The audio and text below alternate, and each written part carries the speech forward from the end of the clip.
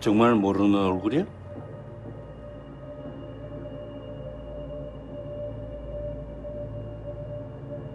음, 낯은 익은데 모르겠어요. 제 사무실을 출입했다면 내부인이 맞을 텐데 우리 직원 아니에요. 확신해요.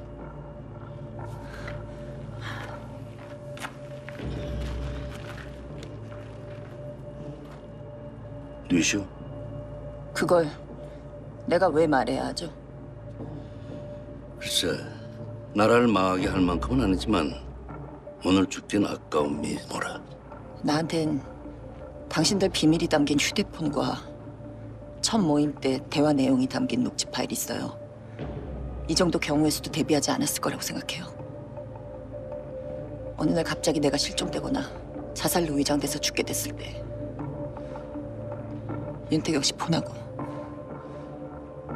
모임 때 녹음해놨던 녹취 파일이 검찰에 넘어가도록 손써놨어요.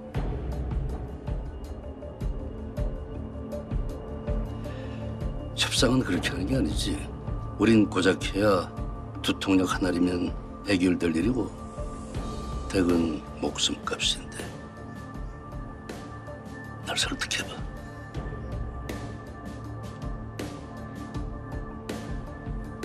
여기서 끝내요. 어차피 당신들 팀에 들어가서 도움 준 일밖에 없고 나도 당신들 덕에 재미도 봤고 그냥 이쯤에서 끝내요. 네가 우리 손톱 밑 가시가 안 된다는 보장은 당신 말대로 내 목숨보다 가치 있는 건 없어요. 좋아. 우리에 대한 모든 정보를 보내. 어떻게 가져올까?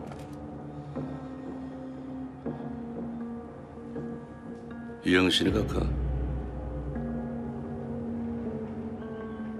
네, 그럴게요.